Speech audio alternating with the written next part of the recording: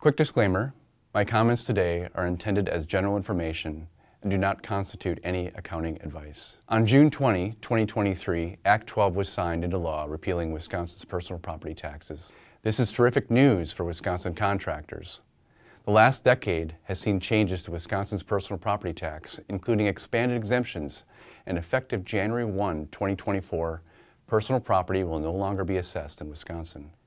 This means the final personal property tax bills will be the January 1, 2023 bills paid in December 23 or January 2024, and there will be no PA-003 personal property tax return filed in the future. Some contractors also have manufacturing or fabrication operations, so there may be planning opportunities related to these operations. Whether it is CLA or another firm, please consult your tax advisor to assist you with any questions about personal property tax reporting.